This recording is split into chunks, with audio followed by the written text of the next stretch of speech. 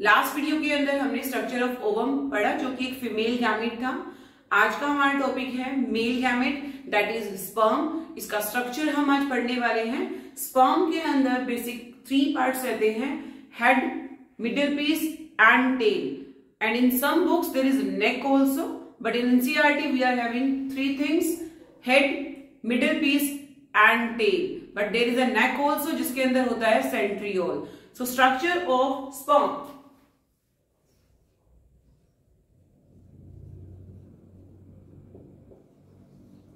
sperm sperm एक haploid cell है। सबसे पहले हम ड्रॉ करेंगे head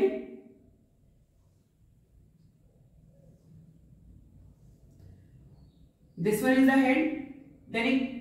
शोर्ट नेक यहाँ पे ड्रॉ करेंगे। After that there is middle piece जिसके अंदर होता है माइटोकॉन्ड्रियम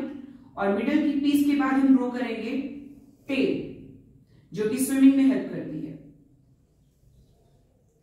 पूरे सेल ऊपर, क्योंकि ये भी एक सेल है, हर सेल के ऊपर प्लाज्मा मेम्ब्रेन जो है वो बाउंड्री रहती है।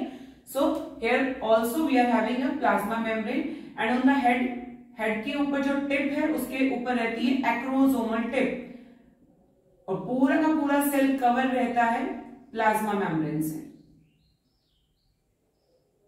This is plasma membrane sperms के नंबर की मैं बात करूँ नॉर्मल फर्टिलिटी के लिए नंबर जो है 200 से 300 बिलियन रहना चाहिए, जिसके अंदर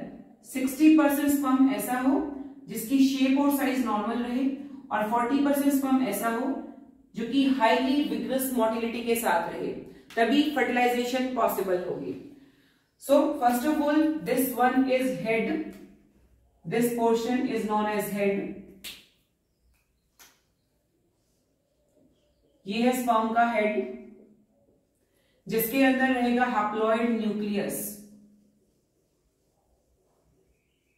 this is nucleus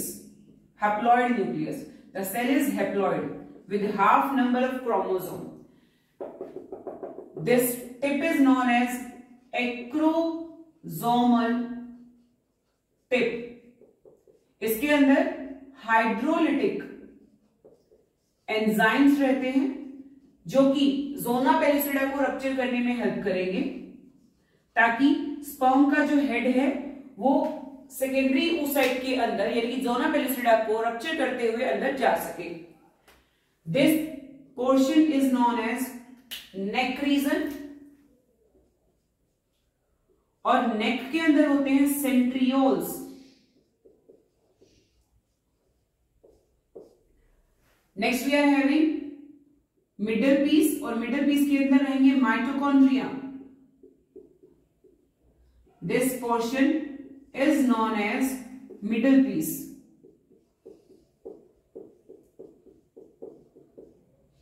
ये पोर्शन जो है, हमारा मिडल पीस रहता है। इसके अंदर प्रेजेंट है माइटोकॉन्ड्रिया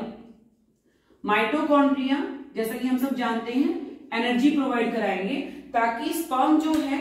यूट्रस से होते हुए फलापियन ट्यूब के अंदर विग्रस मोटिलिटी के साथ मूव करे।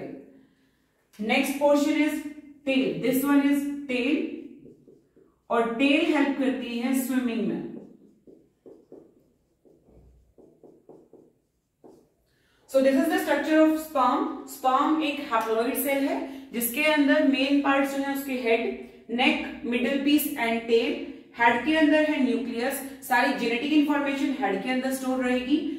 उसके ऊपर है हमारा एक्रोजोमल टिप जिसके अंदर हाइड्रोलिटिक एंजाइम्स होते हैं, जो कि ओवम की जो वॉल है, जो मेम्ब्रेन्स है, उसको रप्चर करते हुए उसके अंदर एंटर कर पाएगा। नेक के अंदर होते हैं सेंट्रियोल्स मिडिल पीस के अंदर है माइटोकॉन्ड्रिया माइटोकॉन्ड्रिया एनर्जी प्रोवाइड कराते हैं, ताकि स्पर्म जो है, वो विग्रस मोटिलिटी के साथ यूट्रस के अंदर मूव कर सके। Tail is for swimming